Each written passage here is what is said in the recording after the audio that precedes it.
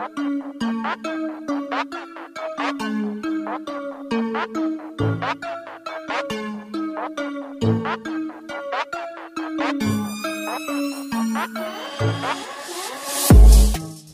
semuanya, kembali lagi ke channel ini.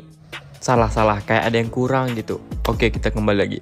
Halo semuanya, kembali lagi ke channel yang seadanya ini. Nah, ini baru benar. Nah kali ini gue akan ngelanjutin pembahasan light novel Shinkanomi yaitu di volume 7 yang part 1 Nah bagi kalian yang baru mampir ke channel ini alangkah lebih baiknya untuk menonton video sebelumnya dulu biar tahu alur ceritanya. Dan jangan lupa untuk tekan subscribe-nya juga sebagai bentuk dukungan untuk channel ini ke depannya. Oke jangan lama-lama lagi langsung kita gaskan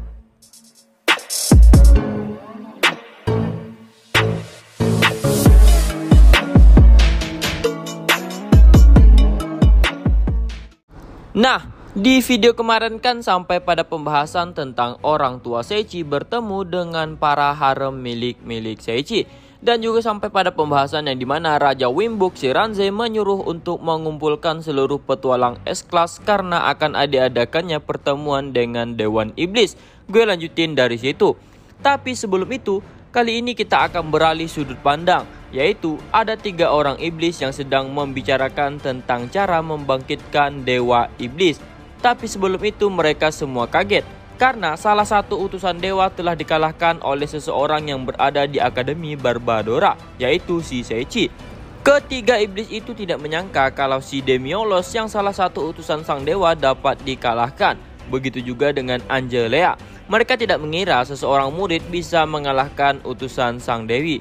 Sebelumnya mereka sudah tahu bahwa ada seseorang yang kuat di Akademi Barbadora yaitu si Barna, kepala sekolah ya.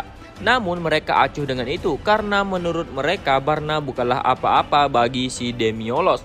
Namun mereka juga tidak mengetahui sosok Seichi yang membantai habis si Demiolos bahkan tanpa menyentuhnya. Setelah mengetahui itu semua, ketiga iblis itu pun mengira peristiwa itu tidak di luar rencana dan menjadikan mereka lebih waspada lagi. Setelah percakapan ketiga iblis itu berakhir, lalu mereka pun bergabung dengan kegelapan atau seolah-olah langsung menghilang. Nah kita beralih ke kastil Terveil. Di dalam kastil, tepatnya di dalam kamar mandi pribadi milik sang raja Ranze, terdapat seorang wanita yang Ranze panggil dengan sebutan sayang.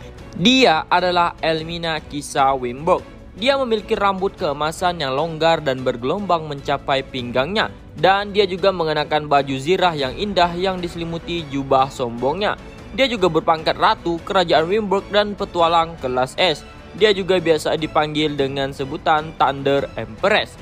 Di sini, obrolan Ranse dan Elmina adalah tentang pertemuan dengan Raja Iblis. Elmina yang seorang ratu dan juga menyandang petualang S-Class itu akan ikut untuk mengawal konferensi itu. Karena yang gue bilang di awal video tadi, Ranze menyuruh untuk mengumpulkan semua petualang S-Class untuk mengawal konferensi mereka. Atas karena itulah Elmina kembali. Sebenarnya, Elmina tidak berharap kalau kerajaan Winberg akan bekerja sama dengan iblis. Namun, Ranze menjelaskan kalau dia sudah bosan dengan kekuasaan negara-negara adik kuasa. Mendengar itu, Elmina pun tersenyum. Karena menurut Elmina, sifat itulah yang sangat ia sukai dari si Ranze. Ranze tidak memiliki selir atau semacamnya, padahal dia seorang raja. Hubungan dia dengan istrinya juga baik-baik saja. Karena sudah lama mereka tidak bertemu, akhirnya mereka pun ngeu. Tidak dong, mereka ingin membahas banyak hal lainnya. Namun, mereka menyadari kalau putri Raja Iblis semakin dekat. Mereka berdua pun mengerti dengan kondisinya yang seperti itu. Lalu, Elmina pun akan pergi untuk menemui para petualang S-Class. Ketika dia mau pergi, dia mengimbaskan jubahnya dengan sombong dan bersiap untuk meninggalkan ruangan. Namun, ada suara teriakan, "Kia!" Ternyata pada saat Elmina mengibaskan jubahnya itu, jubahnya menempel pada tanaman hias di meja. Dia tersanjung ke belakang dan jatuh. Lalu tanaman yang menempel di jubahnya ikut tertarik sehingga tanaman itu berguling dan mengenai kepalanya.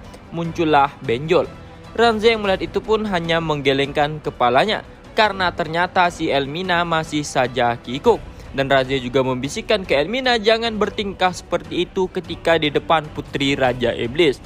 Gue kira istrinya Ranze itu orang yang keren, berwibawa gitu. Eh, ternyata kikuk juga.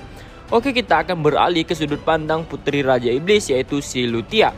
Kelompok kerajaan iblis sudah memasuki gerbang Terveil. Mereka adalah pasukan iblis yang mengikuti konferensi yang memimpin mereka langsung adalah putri Raja Iblis yaitu si Lutia. Dan di belakangnya ada anggota eksekutif tentara iblis termasuk Kapten Kop Iblis ketiga, Rhea Falza. Di sini, Rhea sangat khawatir dengan Grand Boyge, tempat mereka tinggal. Karena dengan perginya seluruh anggota Kop pasukan Iblis yang mengikuti konferensi itu, maka kerajaan mereka nggak ada yang jaga. Namun Lucia langsung menjawab bahwa itu tidak apa-apa, karena ada yang menjaganya yaitu Sang Dewa Naga Putih. Kenapa naga putih ya karena naga hitam kan udah dihabisi sama Seichi di animenya. Karena ada yang menjaganya yaitu Dewa Naga Putih, mendengar itu Reya pun tenang. Namun sebaliknya Lucia mengkhawatirkan Clays karena Clays tinggal di sana.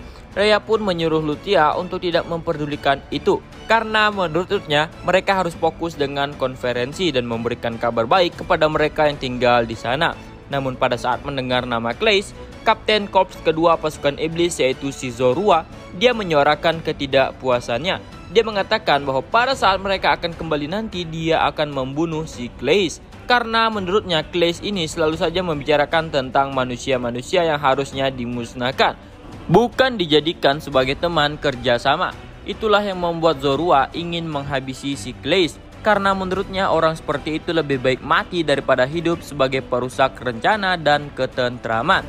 Kapten Kop Iblis ke-1 si Zeros juga setuju dengan pendapat Zorua namun kalau untuk membunuhnya itu sudah keterlaluan. Mendengar itu Zorua pun mengusik si Jeros dan terjadilah debat antara Kapten Korps Lalu yang melerai mereka adalah Kapten Korps Disiplin si Jet dan akhirnya mereka pun tenang kembali. Di sana ada juga Kapten Korps Iblis keempat yaitu si Leareta dan Kapten Korps kelima yaitu si Urs.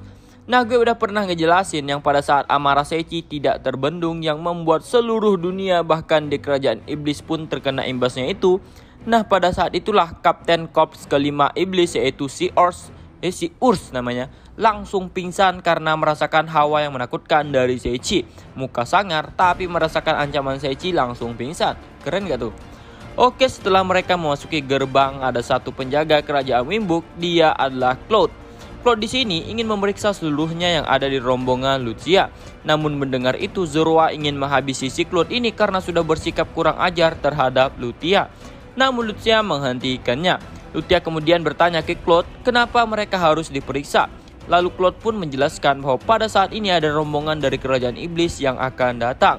Jadi mereka harus mengkondisikan suasana kerajaan Winburg harus dalam kondisi teraman dan ternyaman. Namun Claude di sini tidak tahu kalau Lucia dan lain-lainnya adalah ras dari iblis. Atas karena itulah Lucia pun langsung menjelaskan kalau mereka adalah ras iblis tersebut yang akan menghadiri konferensi tersebut. Mendengar itu, Claude pun langsung membungkuk dan meminta maaf atas tindakannya itu. Namun Lucia tidak mempermasalahkannya. Malahan Lucia berterima kasih karena mereka sangat mengkhawatirkan rombongan iblis yang datang. Claude pun langsung melaporkan ke unit penyambutan bahwa rombongan putri Raja Iblis sudah tiba. Tidak lama kemudian kereta jemputan mereka pun tiba. Dan Claude pun mengucapkan selamat datang di ibu kota kerajaan Winburg. Lucia pun tersenyum mendengarnya. Oke kita akan beralih ke sudut pandang kerajaan Kaiser. Di sana ada sang kaisar yaitu si Selder Wall yang sedang duduk di singgah sananya. Di depannya ada si penyihir Helio Roban mereka mengetahui kalau rombongan para iblis sudah tiba di kerajaan Winburg. Jadi, mereka akan mengacaukan konferensi itu dengan cara menyerang secara langsung kerajaan Winburg. Semua persiapan yang dilakukan oleh bawahan kerajaan Kaiser sudah siap semua. Tinggal menunggu perintah dari raja mereka, si Selder. Ada juga kehadiran si Rautis. Nah, Rautis ini adalah pelatih si Origa yang pada saat jadi tim pembunuh di kerajaan Kaiser. Nah, tugas Rautis di sini adalah menjaga sang Raja Kaiser selama penaklukan kerajaan Winburg nantinya. Jadi pada saat Winburg mulai bergerak, kerajaan Kaiser juga akan ikut bergerak. Nah, kita ke sudut pandang si Seichi.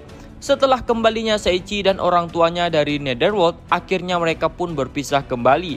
Berpisah tempat tinggal doang sih, karena orang tua Seichi ingin melakukan wisata kuliner. Jadi, Seichi pun mengizinkan mereka untuk melakukan itu. Namun, ada beberapa kekhawatiran Seichi. Takutnya ada bahaya yang menimpa mereka. Tapi Seichi optimis karena ada yang mengawal orang tuanya, yaitu pahlawan dan Raja Iblis pertama, serta kelompok-kelompoknya. Seichi juga diberitahi, diberitahi nggak tuh? Seichi juga diberitahu oleh Zenos untuk berhati-hati dengan kerajaan Kaiser karena mereka adalah kerajaan yang suka memulai perang dan menghalalkan segala cara untuk mendapatkan sesuatu. Seichi pun mengingat perkataan Zenos itu. Lalu Seichi pun kembali ke akademi. Ada ujian ulang yang dilakukan di pihak akademi. Tapi ketika Seichi berjalan menuju ke akademi, dia dan Auriga mendengar sesuatu yang sangat berisik. Dan benar saja, Ternyata emang ada keributan yang terjadi di dalam kelas F. Seichi melihat anak laki-laki kelas F melindungi para gadis kelas F dari para pahlawan, yaitu kelas Seichi yang dulu. Di sini terjadi adu mulut antara Agnos dan pahlawan tersebut. Para pahlawan terus mengejek-ngejek kelas F. Di sini yang hadir hanya pahlawan laki-laki saja. Mereka juga menganggap jikalau pertandingan sebelumnya dengan kelas S dianggap cheat oleh mereka. Nah, bagi kalian yang belum tahu, Kelas S ini dilatih oleh para pahlawan, tapi kelas S dibantai habis-habisan oleh kelas F. Oleh karena itu mereka mendatangi kelas F dan menyebut mereka curang dalam pertandingan. Tujuan para pahlawan yang lainnya juga karena kecantikan wanita yang ada di kelas F, jadi mereka ingin menjadikan wanita yang ada di kelas F menjadi milik mereka. Melihat itu Seichi langsung berjalan di tengah-tengah pertengkaran tersebut. Seichi pun menegur mereka apa yang sedang terjadi. Melihat itu wajah Agnes pun bersinar, sedangkan pihak pahlawan mulai menggerutkan keningnya. Seichi mengenali para pahlawan itu, yaitu yang sering membuli Seichi waktu dia di sekolah. Lalu salah satu kelompok mereka pun menjawab bahwa mereka ingin mengambil gadis-gadis kelas F menjadi miliknya. Namun Seichi malah menyuruh seluruh para pahlawan untuk keluar. Mendengar itu, Aoyama mengancam Seichi, jika tidak ingin terluka, maka serahkan saja gadis-gadis itu kepada pahlawan. Ini si Aoyama ngelawak atau gimana sih, gue gak ngerti juga sih. Aoyama memasang wajah sangarnya, namun Seichi sama sekali tidak takut dengan hal itu. Kemudian Kisaragi menunjuk Saria. Dia mengatakan kalau Saria akan menjadi pelayan spesialnya, wanita kelas F yang akan dijadikannya sebagai pelayan semua, sedangkan yang cowok akan dijadikan budak mereka. Namun Saria sambil tersenyum dan langsung menjawab tidak. Kisaragi dan para pahlawan langsung dibuat menegang. Tapi Kisaragi terus menawarkan Saria untuk menjadi pelayannya. Saria pun kembali menjawab tidak. Kisaragi pun menanyakan alasannya. Saria pun menjawab karena dia sangat mencintai Seichi. Mendengar itu Seichi pun memasang wajah yang memerah. Dan Seichi juga mengira kalau para pahlawan akan menyadari kalau itu adalah Seichi, teman sekolahnya dulu. Namun ternyata mereka tidak sadar sama sekali. Pada saat Saria menyebut nama Seichi, Seichi mengira kalau dia sudah dilupakan oleh para pahlawan. Lalu Kisaragi pun membandingkan dirinya dan Seichi. Menurut Kisaragi, bahwa dialah yang lebih baik daripada Seichi. Dia juga menyebutkan kalau dia bukan hanya seorang pahlawan, tapi dia juga seorang idol. Itulah yang Kisaragi katakan ke Saria. Malahan Saria tidak peduli dengan itu. Saria pun bingung dan bertanya apa itu idol. Togo pun menjelaskan kalau idol itu adalah orang yang kompeten dan orang yang sangat keren. Setelah menerima penjelasan dari Togo, Saria pun kemudian mengatakan kalau berarti Seichi adalah yang terkeren dari yang terkeren. Mendengar itu para pahlawan pun mulai risih dan setelah berapa kali Saria menyebut nama Seichi, Akhirnya para pahlawan pun menyadari kalau Seichi yang Saria maksud adalah orang yang suka mereka bully dulu sewaktu di sekolah. Jadi mereka pun mulai membuli Seichi lagi. Dengan mengenduskan hidung mereka ke jubah Seichi dan mengatakan kalau Seichi itu orang yang sangat bau busuk, para pahlawan pun menertawakan Seichi, termasuk si Cliff wali kelas S. Namun tidak dengan Saria. Saria memegang tangan Seichi dan mengatakan tetap saja Seichi yang paling keren. Sebenarnya dari tadi itu Seichi melindungi wajahnya dengan tudung jubahnya. Jadi wajah dari Seichi tidak terlihat. Tapi pas pada saat Saria membuka tudung Seichi, wajah semua pahlawan menjadi tegang dan mereka yang tadinya menertawakan malah terdiam dan ketakutan. Si Kesaragi juga terbata-bata ketika mengatakan kalau Seichi itu tidak seluruhnya buruk dan bau. Mereka dibuat ketakutan semuanya. Namun tidak lama setelah itu mereka kembali lagi membuli si Seichi. Dan Saria yang terus-terusan membela Seichi dan mengatakan kalau Seichi yang lebih kuat. Seketika itu Kisaragi pun mengatakan ke Seichi kalau dia harus membuktikannya siapa yang lebih kuat di antara mereka. Kemudian keluar sihir api dari tangan Kisaragi dan mengarah ke Seichi. Namun, sihir itu tiba-tiba terhenti di depan Seichi. Kisaragi pun terkejut apa yang sedang terjadi. Jadi dia pun menyuruh seluruh pahlawan untuk menyerang Seichi juga dengan sihir mereka. Namun, itu sama saja dengan milik Kisaragi. Semua sihir terhenti dengan sendirinya. Para pahlawan semuanya dibuat bingung apa yang sedang terjadi. Lalu Seichi pun mendengar kata-kata dari para sihir itu. Sama halnya dengan pada saat iblis Demiolos yang menyerang Seichi, Sihir dari Demiolos kan berbicara ke Seichi bahwa mereka sangat patuh ke Seichi. Nah begitu juga dengan kejadian para sihir pahlawan. Sihir-sihir mereka bertanya ke Seichi apakah mereka harus membunuh pahlawan yang telah menciptakan sihirnya tersebut. Sihirnya bisa saja berkhianat. Para sihir sangat patuh kepada Seichi. Mereka memanggil Seichi dengan sebutan Tuan. Para sihir tinggal menunggu perintah dari Seichi. Jika Seichi menyuruh untuk membunuh mereka, maka para sihir yang dilemparkan tadi akan menyerang pahlawan. Namun Seichi pun mengatakan kalau itu tidaklah apa-apa karena jikalau mereka memulai penyerangan, maka kelas akan dibuat hancur. Jika Seichi minta ke para sihir tersebut untuk menghilang secara alami, para sihir pun mengatakan apakah itu tidak apa-apa. Seichi pun menjawab itu tidaklah apa-apa. Seichi juga paham bahwa mereka sangat bisa untuk membunuh pahlawan. Namun Seichi tidak mau ada kerusakan yang fatal terhadap kelas. Jadi Seichi menyuruh mereka untuk menghilang secara alami. Dan jika ada sesuatu hal lagi, maka Seichi akan memanggil mereka kembali. Mendengar itu para sihir pun bahagia dan bersorak, Yeay! Dan langsung menghilang. Untuk sesaat para pahlawan yang tidak menyadari obrolan Seichi dengan para sihir pun dibuat terkejut karena sihir mereka hilang secara alami. Kisaragi pun dibuat frustasi. Kemudian Seichi pun menyuruh Helen dan para murid lainnya untuk melanjutkan belajar mereka. Sisaria juga disuruh untuk belajar dan membiarkan Seichi yang akan mengurus semuanya. Para murid pun melanjutkan pembelajaran mereka. Melihat itu, Kisaragi pun tambah kesal dengan Seichi. Jadi dia menyuruh para pahlawan untuk mengeluarkan sihir habis-habisan ke Seichi. Namun itu sama saja dengan yang tadi. Sihir itu pun menghilang dengan sendirinya. Kemudian Kisaragi pun mengeluarkan simbol gelar pahlawannya, sihir atribut suci. Lalu tombak cahaya pun muncul dari telapak tangan Kisaragi. Tapi itu menghilang juga. Semua sihir yang diarahkan ke Seichi semuanya menghilang. Malahan Seichi mendapatkan skill baru, yaitu sihir atribut suci yang melebihi sihir milik pahlawan dan lebih baik daripada milik halawan. Sihir itu berevolusi menjadi Holy Attribute Magic Extreme. Gokil nggak tuh? Lalu para pahlawan menyadari bahwa sihir tidak begitu berguna ke Seichi. Jadi mereka mengeluarkan pedang suci milik mereka sendiri untuk melawan Seichi. Yang pertama menyerang adalah si Aoyama. Namun Seichi dengan santai menghindari itu. Tapi dia melihat pedang itu menggores lantai kelasnya. Jadi Seichi menggunakan sihir cuman untuk melindungi lantai kelas. Aoyama terus menyerang dibantu para pahlawan lainnya. Namun yang membuat Seichi khawatir hanya gores-goresan yang ada di lantai bekas ayunan pedang mereka. Jadi Seichi terus-menerus menggunakan sihir untuk melindungi lantai kelas mereka. Seichi tidak peduli dengan serangan para pahlawan. Yang Seichi pedulikan hanya kerusakan lantai kelas. Wah nyesek nggak tuh yang jadi eh, yang jadi pahlawan yang nyerang Seichi itu. Kejadian itu kurang lebih dari 20 menit. Mereka menyerang Seichi terus-menerus. Akhirnya mereka pun capek dengan sendirinya. Mereka pun mengatakan ke Seichi bahwa mereka akan memberikan Seichi pelajaran sekali lagi nanti. Dan akhirnya mereka pun pergi. Ngelawak nih kelompok pahlawan cucu. Nah setelah para pahlawan pergi lalu muncullah para pahlawan cewek yang sangat mengkhawatirkan Seichi. Dia adalah Karen dan Irene. Nah, Airin ini adalah salah satu teman Seichi dari SMP. Dia sangat mengkhawatirkan Seichi. Begitu juga dengan Karen.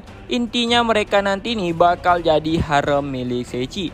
Kalau nggak salah nanti harem Seichi itu lebih dari 9 orang ya. Itu kalau nggak salah sih. Nah mungkin sampai segini dulu untuk pembahasannya kali ini. di video selanjutnya kita akan membahas selanjutan dari like novel Death Mark. Habis itu Shinkanomi lagi, habis itu Death Mark, habis itu Shinkanomi lagi. Jadi begitu. Udah sampai di sini dulu videonya. Sampai jumpa di selanjutnya. See you next time.